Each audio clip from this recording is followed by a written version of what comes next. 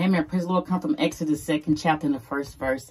It says, And there was a man of the house of Levi and took to wife a daughter of Levi. And the woman conceived and bare a son. And when she saw him that he was a godly child, she hid him three months. And when she could no longer hide him, she took for him an ark of bulrushes and daubed it with slime and with pitch and put the child therein and she laid it in the flags by the river's bank and his sister stood afar off to wit would be done to him. Glory be to God. And it says, amen, when she seen the child was a goodly child. Amen. She seen something, hallelujah, upon her child. She seen something different upon her child.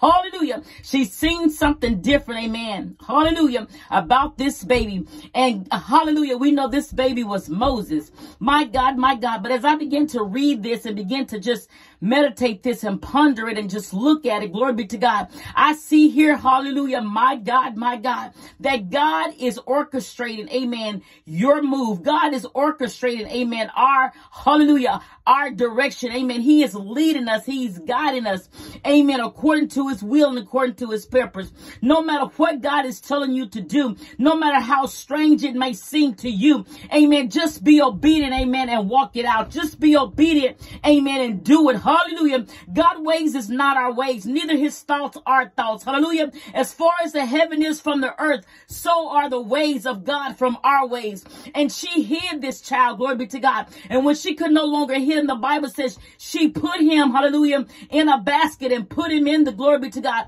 in the water, glory be to God, hallelujah. And his sister, amen, watched afar off to see where this child would land. And we know the story how this child landed, hallelujah, in the hands of Pharaoh's, hallelujah, my God, my God, hallelujah, in the hands of Pharaoh.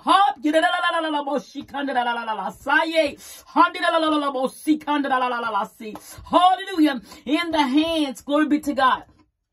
My God, my God, hallelujah. He landed in Pharaoh's pa- pa- palace, my God. And it said that when he was drawn from the water, amen, glory be to God, she knew that it was a Hebrew child. Hallelujah. She knew that there was a Hebrew child. So she, she sent for a Hebrew woman to come and take care of this child. Amen. And his own mother, amen, was the one that took care of Moses. Hallelujah. And reared him up until he was weaned and brought back, amen, to Pharaoh's palace. Hallelujah. My God, my God. God had already wrote the script. God had already orchestrated, amen, his plan. Know that God has a plan for our lives. God has a plan for your life. Amen. We have to do our part. Amen. Look upon the things. See God in everybody. See God in everything that you do. Even in your children. See God. Hallelujah. In your grandchildren. See God. When you see the hand of God upon their life. Amen. See God what you are to do to protect them. What you are to do to lead and guide them. Hallelujah.